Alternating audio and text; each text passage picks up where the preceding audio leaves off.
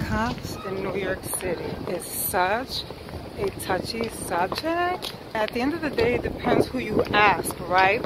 Because if you go to like a urban area, ask the community there, they will tell you that they actually hate cops. They hate the cop community because the way they mistreat. Every time I've encountered cops, they were super brutal with complete force and I see them using that brute force with little kids.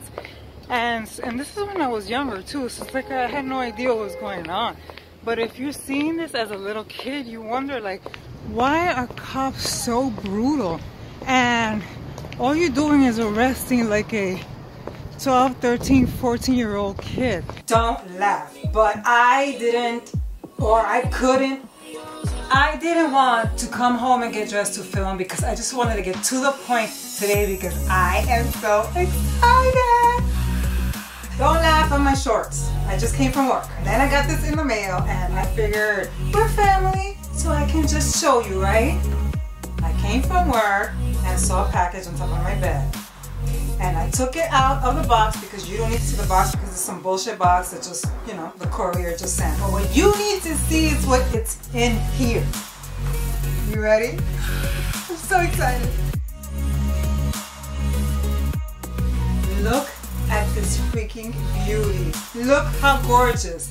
This is my second Marc Jacobs bag. They're so cute. They're like candy and they come in a plethora of colors and I saw this pink one and I don't have anything in pink. I have like one or two pieces and I don't really wear them. But as far as accessories, I saw this and I was like, I have to have it. It just made me smile. The color is so freaking beautiful and inviting and it's such a summer purse. And then not only that, but Marc Jacob is actually reasonable when it comes to prices if you are a person that looks for more designer-ish type of goodies, right? If I can get like all of them, I would. I don't care if I have 50 million of the same purses as long as I love them. Look how fabulous this is. The other one that I have is in white. I got it last year. I think the hardest thing is actually making a choice in which color you want because they're all so beautiful. It just makes me think of candy to be straight up with you, but you know, I got it and I'm in love with it. I'm gonna name it. I'm gonna name it right here, right in front of you guys.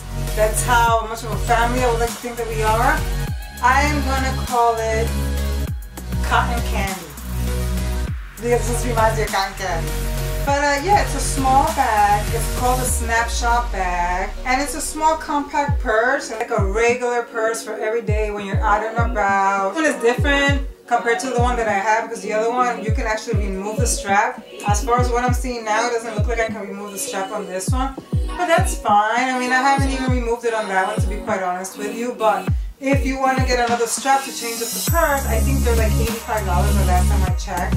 So you can actually mix and match was pretty cool. And I remember when I went to the store to buy the first one, it took me forever to decide which damn color to get. So because they're all beautiful. But I ended up going with white because I figured it might go with my wardrobe a little bit better. Go online on Marc Jacobs and you'll see that they have a whole mess of different colors. And all I'm going to leave you with is Good luck on picking a color.